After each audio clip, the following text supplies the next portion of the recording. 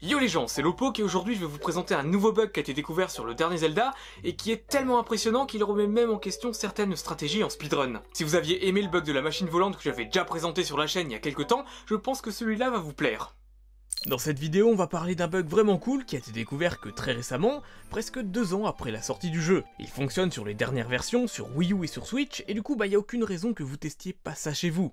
En tout cas, c'est pas forcément rare que des bugs soient découverts sur ce jeu, il y en a eu un très récemment qui se passait dans l'épreuve de l'épée, et qui permettait aux joueurs de sortir des limites de la carte pour se retrouver dans une grande zone totalement vide. Celui-là a pas mal fait parler de lui sur internet, il est plutôt sympathique, mais c'est vrai qu'il est pas aussi cool que celui qu'on va voir aujourd'hui.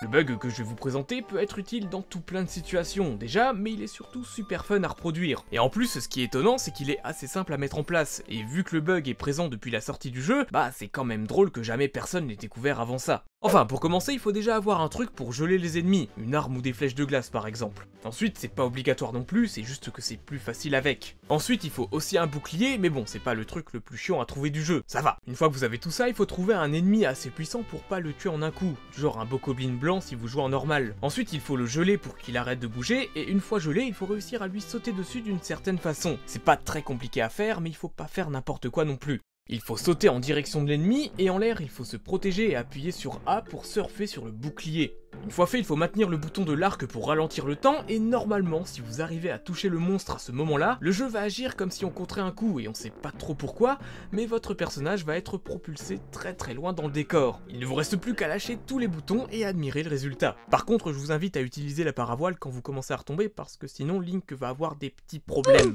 Bien évidemment, c'est pas du tout normal ce qui se passe, à aucun moment on est censé être propulsé de cette façon, et si vraiment vous voulez être propulsé le plus loin possible, il faut sauter de la bonne façon pour avoir un bon angle. On peut vraiment être envoyé très très loin si on gère bien et parcourir la carte ultra rapidement. Et aussi, oubliez pas que quand le monstre est gelé, vous pouvez le pousser pour mieux sauter dessus. Si vous avez du mal, ça peut toujours être utile. En tout cas, une fois en l'air, le jeu va souvent se bloquer quelques secondes, mais je vous rassure, il n'y a rien de grave, et en fait, vu que le jeu charge la carte au fur et à mesure du déplacement de Link, bah là on va largement plus vite que ce que le jeu est capable de charger, et en temps normal, ça arrive jamais ce genre de blocage. Comme je le disais en intro, un bug comme ça, ça va avoir une influence dans le speedrun, surtout celui en Any%, où il faut finir le jeu le plus rapidement possible. Déjà, il faut savoir que pour se déplacer sur des grandes distances avant la découverte de ce bug, les joueurs avaient une autre technique que j'avais déjà présentée dans une autre vidéo. En gros, il fallait utiliser le cinétisme sur un élément du décor, et si on gérait bien, on pouvait se retrouver propulsé assez loin. Cette technique c'était pas un bug en soi, elle était pratique, mais le nouveau glitch est bien plus performant que ça. En fait, si on arrive à faire une seule fois correctement le bug, on peut aller du plateau du prélude au château de Ganon en quasiment une minute. C'est très très court et ça permettrait aussi de gagner une minute sur les speedruns, et quand on sait que le record actuel est à 33 minutes, c'est pas négligeable. Et pour la petite info, on peut pas quitter le plateau du prélude avant d'avoir récupéré la paravoile. Le jeu va replacer Link en permanence à cet endroit, même si on arrive à atteindre le château de Ganon comme ça. Et du coup, on peut pas finir le jeu sans la paravoile, c'est pas possible.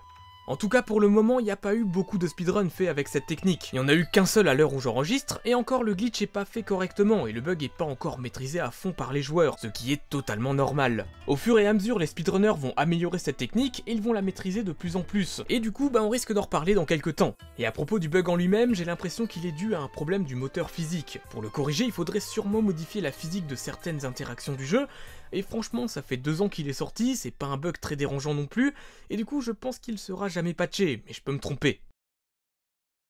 Et eh bien en tout cas, j'espère que cette vidéo vous aura plu, le speedrun de ce jeu est très impressionnant, et si vous voulez un speedrun commenté, n'hésitez pas à me le faire savoir en commentaire. Sur ce, si cette vidéo t'a plu, n'hésite pas à lâcher un like, ça fait toujours plaisir, et tu peux aussi t'abonner pour ne rater aucune de mes futures vidéos. Je te remercie d'avoir regardé cette vidéo jusqu'au bout, et je te dis à très bientôt, et portez-vous bien